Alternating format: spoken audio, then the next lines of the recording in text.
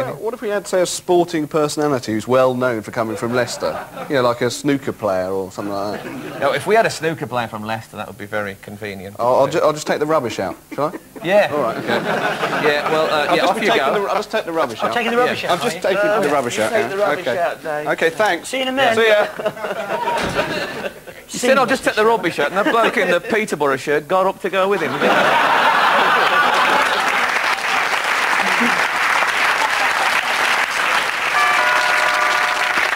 I wonder who that'll be. oh my God. Sit down.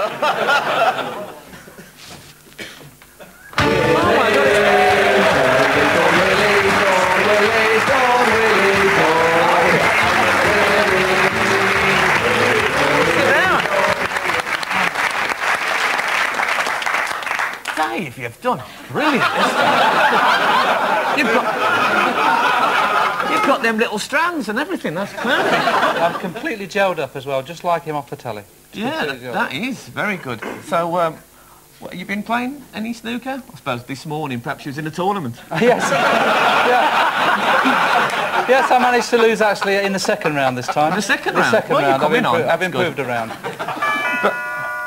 Well, who could, uh, who could that be?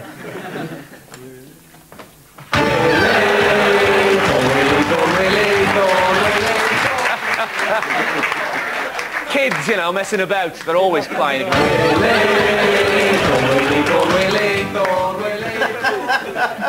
I'm Willie Thorne. Well, you better sit over there on the uh, Willie Thorne settee. I think I can squeeze in there. Uh, Willie, what I've done is I've gone out and I've come Yeah. back. I've come back dressed as that bloke from the Bill. Oh yeah. How old is you? Actually, no, I'm sorry. I, I am you. I am you. Yeah. Uh, the moustache is good. Is it? Yeah, you've got a bit more hair than me at the back though. What do you think? What if I go and miss an easy red? Will that? uh, just like me. just like me. Lovely to see you, Willie. Nice tie, nice. nice jacket. Yeah, no, it's lovely. Almost knew what I was going to wear, didn't you? Well, I just guessed. You know, I've just I've been studying you for a long time. I guessed. so, Willie, uh, it's very very difficult. The worst is the shine you got on on here. That's very very difficult. Well, I gel it. Do you? Absolutely. It's sticky when you gel it and it stays in exactly the same place. I've noticed that actually. No, I, I, I, I've got eight hairs here and I have to get them exactly straight when I go on the Eight TV. hairs. Is that one for every round of the World Championship you've ever been in? Sorry, Willie. I've been a pro a long there be time. shouldn't there be a row of library books between you two? Oh dear. What, what, what do you think's been the worst moment of your career, Willie?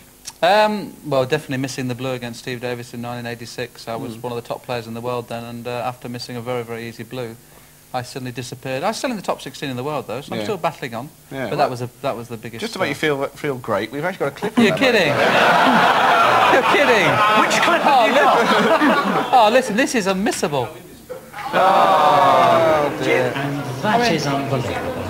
Nice hairstyle though. Look. It must have been very stressful for you losing that. I mean, we got a shot of you here before the game.